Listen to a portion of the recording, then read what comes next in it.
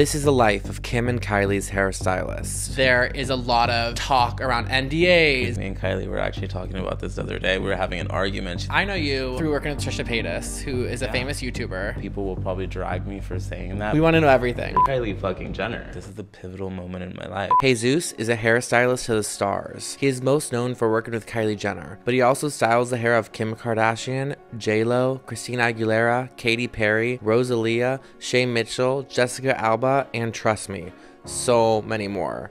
He's done four Vogue covers, all before the age of 32. He's an inspiration to me in my life, and I cannot wait for us all to get a closer look into the life of a hairstylist to the stars. Hey, I'm here. Okay, I'll see you soon.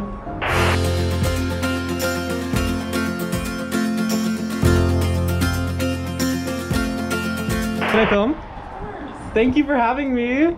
Thank you for coming. I got you flowers. Sunflowers your favorite. They are my favorite. They're so cute. Thank you. I'll put them away for you because I know. Thank you. You know, I, have, had, an, I had an accident over here. No, that was like what a week ago now. It's been a week. Yeah, on Sunday it was my anniversary for me in this boot. Your congratulations.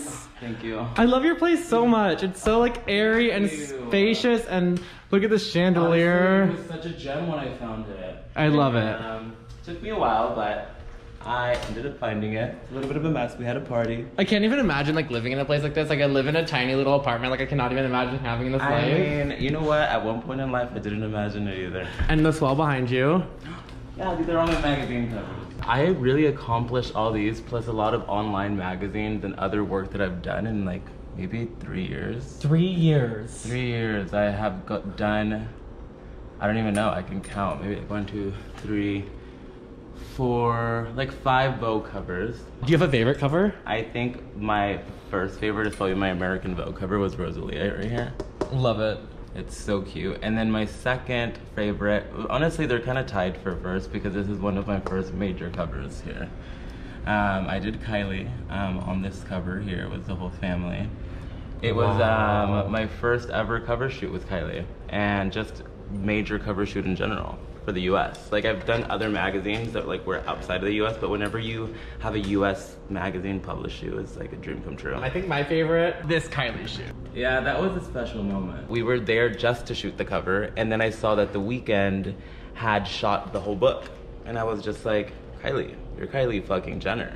You're not gonna just do the cover. We're gonna figure out how we can make this a whole book. And it's a whole book of Kylie. And it's insane how we stayed there for about maybe 14 hours shooting nonstop. Honestly, for sure, like one of my favorite covers. And honestly, one of the covers that people recognize me the most for. It just must feel so surreal to just be like, wow, like I literally do the hair of the woman who has the most followed woman in the entire world. I know, it's insane. I think I've never really seen it that way. Even since day one. I remember I was kind of nervous. I was like, oh fuck, I'm about to go do Kylie Jenner. But I never looked at her like, oh my god, I'm about to do the most famous woman in the world. I just thought like, she's cool. She is the moment. And at the end of the day, she's the nicest person I think I've ever met. Do you want to cheers? Are we cheersing? Okay, let's cheers.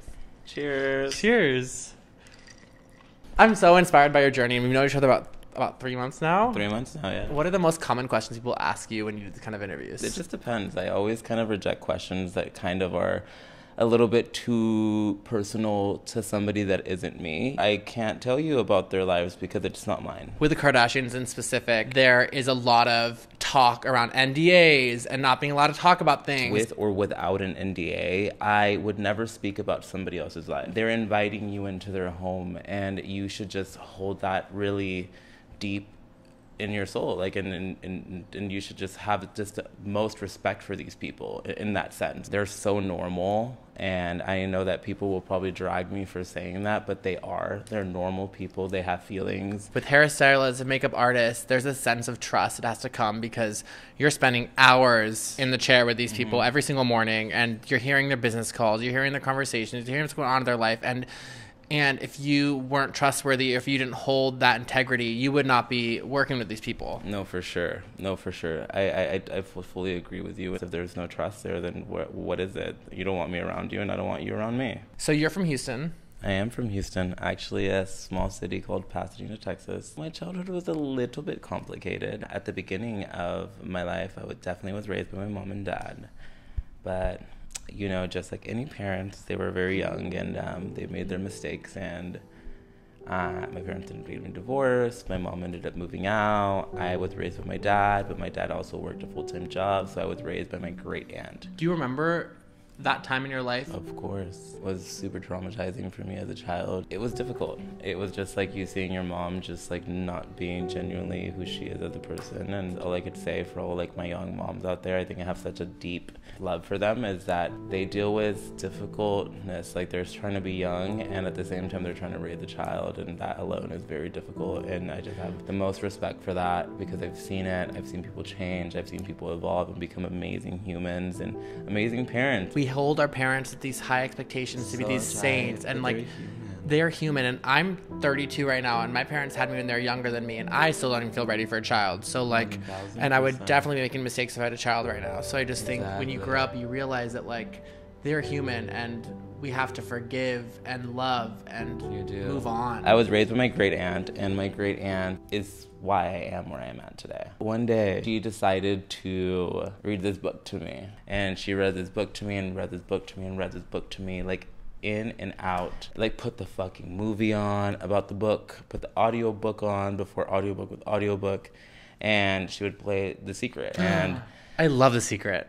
yeah, and I didn't know that about you. Yeah, like she played the secret for me every day. She passed away when I was 22, and it was a very like dark time in my life because she was like my parent. She was my mom. She was my dad. She's with me every day of my life, and Mm-hmm. I just I love her. When I moved out to LA, I wasn't working at the time. I was trying to make it out here in the fucking street, and I remember I was it came out on Netflix, and I was like, okay, I have all the time in the world. I'm gonna watch The Secret. Like my aunt always told me about this. Three fourths of the way through the docu movie, I was bawling, and I was just like, it's so crazy. I was manifesting everything I wanted in my life, and I didn't even know I was manifesting it. This woman tried to teach me, even though I didn't want to learn. I learned it.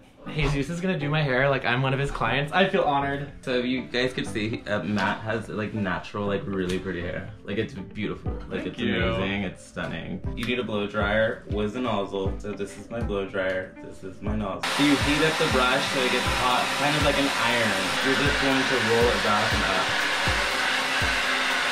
I already love it. I actually love it. Okay, fine, you're hired. Let's talk about your journey Okay. a bit. So you were working at a salon as like a hairdresser, just booking your clients, mm-hmm. half hour clients, getting the haircut in and out, that kind of a job. Yeah, th- that was my job. I was working at a salon in Houston, and I decided that it wasn't my life anymore. And that I wasn't going to allow that to be my life anymore. I was staring at everybody's Instagrams, like working, doing things that were so major to me at the moment. And I was like, am I just gonna sit here all day and being like wishing that I could, or am I actually gonna fucking do it? And I'm just that person that actually fucking does it. So that day I decided, I'm like, this is not my life. This is not what I will do. This is my dream, and this is what I'm gonna attack. So you decided you're gonna move to LA. It was either gonna be LA or New York, and at the moment, like I just was like, I just feel my soul like taking me to LA, and I decided that LA was definitely for me. So did you save up money or how did? How, Uh, uh, I saved up ten thousand dollars. I think a little over. I was like thirteen. that's a lot. No, it was a lot. How long did it take you to save up that? Uh, not long. I powered through. I it, I think it took me like maybe like four months. I was hustling. So I was working with strippers. I was working weddings. Whatever I could do to get cash on me is what I would do. I paid rent off for a year. Do you remember your first hair gig? I remember I was doing a lot of like test shoots and just like a lot of weddings and a lot of like random things that like honestly anything anything that would come my way I would say yes to. I would be like, yep, mm-hmm, I'm down. Whatever you want a haircut, down. Like fifty dollars, down. I know you through working with Trisha Paytas, who is a Yeah. famous YouTuber. I remember that time of your life because you were on her videos a lot, Mm-hmm. and that was kind of how you started getting your name out there. Me and my ex boyfriend, he ended up booking a job with Trisha Paytas, and and then we, as a couple, became very close to her, and I am forever grateful for Trisha. Um, Trisha is a sweet baby angel and an amazing person that always believed in us and would always just honestly like give us the last t-shirt she had in her back because she just is that kind of a person. You were involved in Trisha's world, but through your ex-boyfriend doing Mm-hmm. her hair. So when did you make the first leap in your own career as a hairstylist, and who was that with? It was was um, one of my great friends, Lilly Ghalichi. Just like Trisha, I was introduced to her by my ex boyfriend, who at the time and still to this day does her hair. So he introduced you, Mhm. and then when did you get to do her hair? So he wasn't available one day, and You went in there and you did it. Went in there and I did my thing, and it, it I landed a job. Fascinating. hmm Just like him, I was there to do a job, and I just did my best. If it wasn't Lilly Ghalichi, it would have been someone else. Like you are, you Exactly. deserve to be here. Let's talk about what everyone's clicking this video for. Tell me, Kylie Jenner and Kim Kardashian. the queen and king of Instagram. We are all so fascinated with them. We want to know everything. You have to stay tuned to the next fucking season of Keeping Up. Are you gonna be on it? Maybe. No, actually, I don't even know. I never know if I'm on it or not.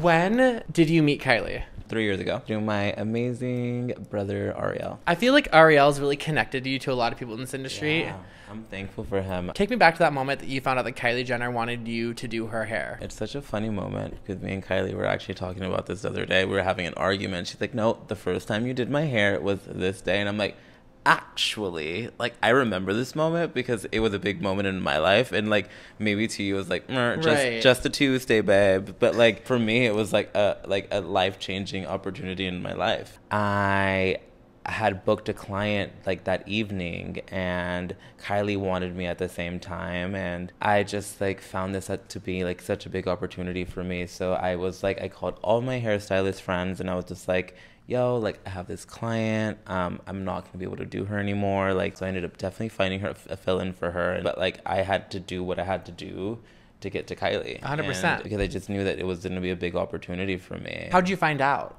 Did she uh, message you? No, Ariel sent me a text message and was just like, "Hey, like, what are you doing at seven? Like, Kylie needs your hair done at 7. At the time, I had no assistant. I had nothing.